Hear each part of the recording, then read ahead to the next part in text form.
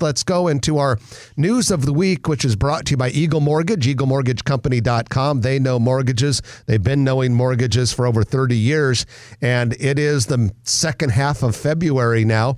And so, if you are thinking about possibly buying a house, you want to be armed for the potential conflict that is the house buying rat race uh, with a pre approval letter from Eagle Mortgage. So, talk to them, meet with one of their mortgage brokers. They'll help you figure out what uh, is right for you financially. They can talk about conventional, FHA, VA loans, whatever appropriate. You can find them online at Eagle Mortgage Company.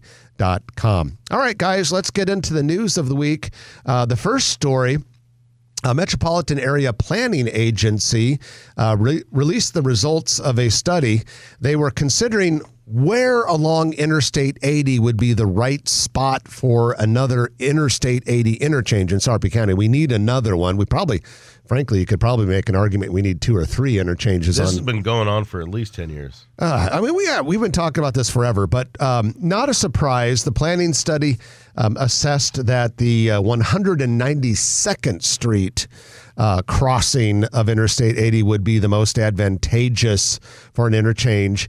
Uh, I think you could also look at um, 204th uh, and I-80 might be a good one. That now that confuses some people because the Nebraska Highway 31 exit by Nebraska Crossing is actually 216th there. Yep. Uh, the highway jogs to the west through Gretna. Um, so some people you know think 204th would be a good one. Some people think we should maybe have one at Pflug Road, uh, closer to the Platte River. But um, at any rate, guys, this uh, uh not a big surprise that they chose 192nd, but construction is probably nowhere near starting on this anytime soon. The study also indicated that we need improvements maybe some capacity increases and traffic flow improvements for the existing interchanges at Highway 370. I can attest to that. That one's tough, and um, and Highway 31 needs some some improvements as well. But we'll see. I think uh, continued growth in Western Sarpy County, which is going to happen really does require uh, the addition of some some interchanges there.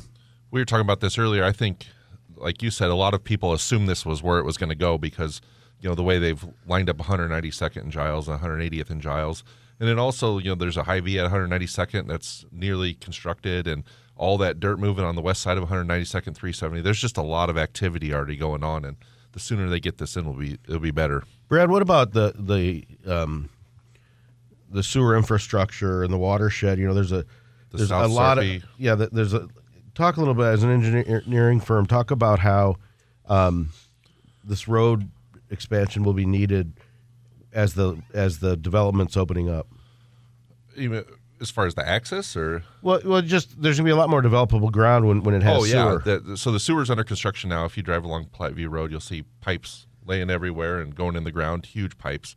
Uh, and there's people waiting to jump on that ground soon as soon as there's sewer access. You can't build a neighborhood without sewer, and so as soon as that's in, the I think the development in Sarpy County is going to take off even more than it already is. We're selling farms without sewer that people just anticipating sewer coming.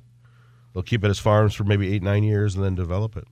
Retail follows rooftops, but none of it happens without a good sewer. We know that for sure. Next item on the news the City of Omaha and Metropolitan Utilities District have reached an agreement resolving utility relocation costs associated with our future downtown to midtown streetcar. This was a sticking point for a while, fellows.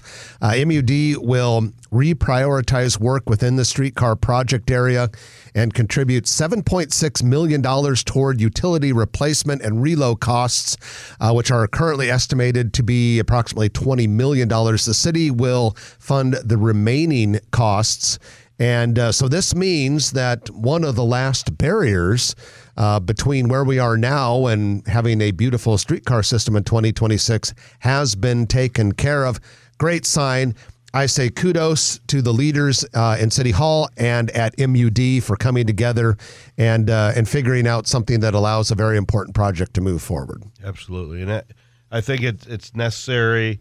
Omaha has always been about compromise. The stakeholders get together with Public Works, they get together with MUD, utilities, and uh, it's it's a great sign. And now we can start to anticipate maybe some big investments um, happening along the streetcar line. Shoot, they already have. I mean, a lot of the things that are underway in that corridor were done with the hope and assumption um, that we would have a streetcar line. But I think um, now you're going to see more and more mixed use and multifamily projects uh, be proposed and get started along that line. It'll be fun to watch it. Remember, Jen Otto talked about the 30, 30, 30, mm-hmm. 30,000 jobs. Um, what was the other thing? Uh, 30,000 residents. Yeah, yeah, Yeah. 30,000 residents in, in, within 30 years. I- I'm particularly interested in what's going to happen at the former mutual site. I mean, I feel like that's the biggest, almost the biggest piece of land there that needs to be repurposed, and it's right on the line. Uh, I think we're going to get probably some amazing announcements in the next two to three years, even just uh, for that site specifically. There's so much land there, and uh, like like you say, right along the streetcar line, and it's halfway between downtown and the Med Center, so uh, it's it's prime real estate. Speaking of that area, this is uh, some good news. Uh, the former Mutual of Omaha employee parking lot located at 36th and Farnam Street. So this is directly north of Crescent Moon Ale House, if you can picture that, is now open for public parking. It's about 300 stalls, five bucks a day. So that will provide some some parking relief Is for surface that area. parking back there? Yeah, surface parking up there. Oh, uh, okay. Is it that big? It's a big lot. It's a big lot. It stretches all the way from Dodge, uh, like up to Crescent Moon. So it's a pretty big lot. I think it's going to be great for the businesses there. I know that uh, as soon as we lost that surface lot, uh, where that eight nine story project is going, I I know a lot of those restaurants felt that uh, as soon as that started and closed. So that's this a, will be that's a big, a big relief. crane over there, isn't it? That big blue. Amazing, yeah. They're talking about a nine story mixed use building directly west of the Kimpton Cottonwood Blackstone Hotel that would have a city owned parking garage on the lower level, street level retail, and, and a bunch of multifamily residential units. It's amazing what they're doing on just one city block with that building. And can you imagine if you applied that to the entire mutual campus? Well, yeah, and that's uh, that's supposedly Brad what the streetcar's going to do for us. When you when you when you have that, you can have that kind of density there, And height. and it's extremely efficient. It's yeah, it's it's really a lesson in density and and and also new zoning ordinances that are allowing less setbacks and more more units and more density. I mean, you're going to start to see these buildings looking different than Omaha's ever been able to have them before because of the TOD, for example, the TOD zoning um, designation, Transit-oriented development. development, for example. That's something that is just a it's a whole new set of rules that you know developers can use to to drive density in the urban core, and I think it's working. Just wait till we start getting autonomous cars where the car just drops you off and parks three inches away from another car waiting to pick somebody else up.